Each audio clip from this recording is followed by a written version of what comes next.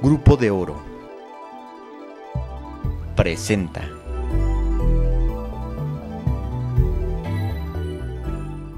Una de las experiencias más impactantes y conmovedoras es poder atestiguar que un ser humano no pueda ordenar a su cerebro que detenga las lágrimas y ver que con el sentimiento a flor de piel las gotas saladas van rodando una a una por el rostro. Justamente esta imagen fue lo que pudo presenciar Cuadratín durante una entrevista con Rocío Pineda Gochi, a quien las situaciones difíciles y dolorosas le hacen vibrar.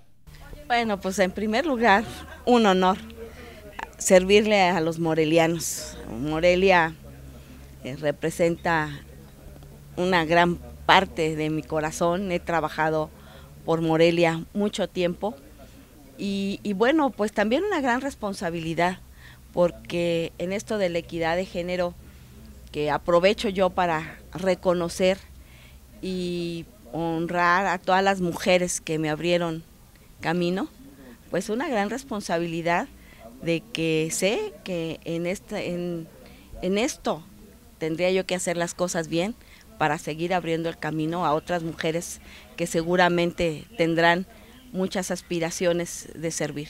Sabe que de llegar a ser senadora de la República tendrá que trabajar muy duro para llevar el bienestar ofrecido a muchas familias michoacanas, quienes en su gira proselitista, a su paso, desesperadamente le piden empleo. En esta campaña, eh, en lo personal, a mí se me ha ido creando como una dualidad de sentimientos, ¿no? Primero, pues eh, uno como candidato es muy satisfactorio encontrar que, es bien recibido y el apoyo de la gente. Eso, pues obviamente a cualquier candidato lo estimula, pero está la otra parte donde se va creando interiormente un compromiso social, un compromiso muy fuerte con ellos, es decir, tengo que trabajar, tengo que hacer que mi trabajo tenga resultados para que esta gente tenga una mejor calidad de vida.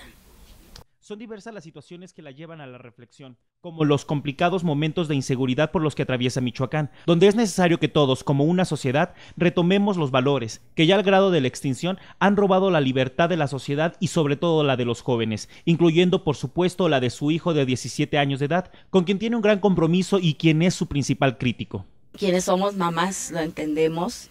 Eh, me preocupa mucho el futuro y el entorno en el que se está desenvolviendo este, este medio de mi hijo, de muchos, de muchos jóvenes, eh, de los cuales pues yo siento un gran compromiso de trabajar por ellos, de luchar porque tengan un mejor horizonte de su vida. Es una mujer que tiene el pleno apoyo y respaldo de los suyos, quienes se sienten orgullosos por sus logros. Necesitamos trabajar y hacer una gran alianza, todos, todos, todos, los ciudadanos, todos los habitantes de este Michoacán, de este México, por los valores. Debemos infundirles a nuestros jóvenes y a todos el respeto a esos valores universales de la lealtad, de la honestidad, de cumplimiento, del respeto, de la disciplina. Yo creo que es una gran cruzada y un gran compromiso que todos debemos tener. Con imágenes de Víctor Saldaña e información de Marta Flores, Agencia Cuadratín.